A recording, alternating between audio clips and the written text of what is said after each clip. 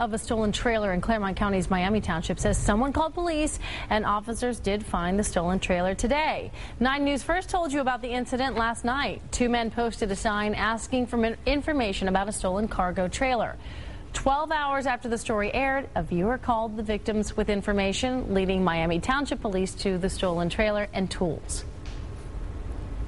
Uh, somebody actually saw your news report uh, at 11 o'clock and they knew where the trailer was. So they gave us a call and uh, said, hey, um, I understand what you're going through and um, I really want to do the right thing. And they told us uh, where the trailer was located. I was having uh, doubts as to uh, if there were any good people left out there. And uh, I've been one up. Yes, I, there are still good people out there. That's good to know. The men say an arrest is pending. They changed their sign tonight to thank Channel 9 and Miami Township Police for helping recover the trailer.